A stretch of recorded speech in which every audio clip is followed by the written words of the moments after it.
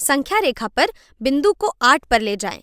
यहाँ हमारे पास ये बिंदु है और हमें इसे आठ पर ले जाना है और ये बिंदु शून्य पर है और हम देख सकते हैं कि इसके अगला वाला जो बिंदु है, वो दर्शाता है दो को। इसका मतलब हुआ कि हमारे संख्या रेखा का ये हिस्सा जो है, ये दो मात्रक के बराबर है। तो अगर ये दो मात्रक के बराबर है तो ये भी दो मात्रक के बराबर होगा। तो मतलब ये कि ये वाला जो हमारा चिन्ह है, ये दर्शाएगा चार को। इसी तरह से ये भी दो के बराबर होगा और ये वाला चिन्ह होगा छ और ये होगा आठ के बराबर। तो चलिए हम अपने इस बिंदु को आठ पर ले जाते हैं। ये आ गया दो पे, ये चार पे, ये छह पे और ये आठ पर। चलिए इसको जाँच लेते हैं। जी हाँ ये सही है। और हम यहाँ से इसे ऐसे भी समझ सकते थे, अगर हमारा एक हिस्सा दो मात्रक को दर्शाता है तो कितने हिस्से आठ को दर्शाएँगे? तो इसका मतलब हुआ कि चार हिस्से दर्शाएँगे आठ को। चलिए अगला प्रश्न हल करते हैं।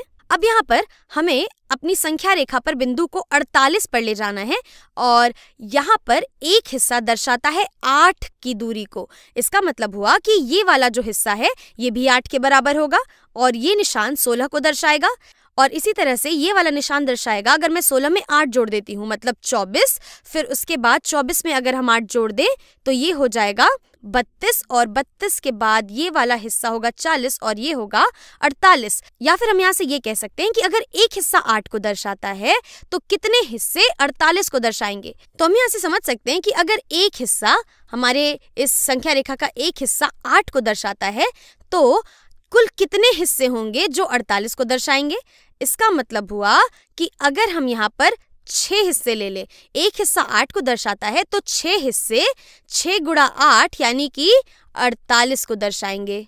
तो चलिए अब हम इस बिंदु को छठे स्थान पर ले जाते हैं। एक, दो, तीन, चार, पाँच छ और इसे आप चाहते तो दूसरे तरीके से भी कर सकते थे। आठ आठ सोलह, आठ चौबीस, आठ बत्तीस, आठ चालीस और आठ अड़तालीस के तरीके से।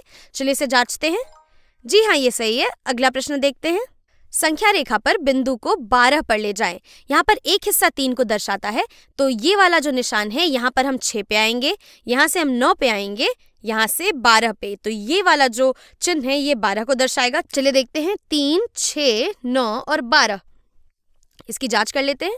जी हाँ ये बिल्कुल सही है। तो मैं उम्मीद कर रही हूँ कि आप समझ पा रहे होंगे कि हम किस तरह से यहाँ पर संख्याओं को संख्या रेखा पर दिखा रहे हैं।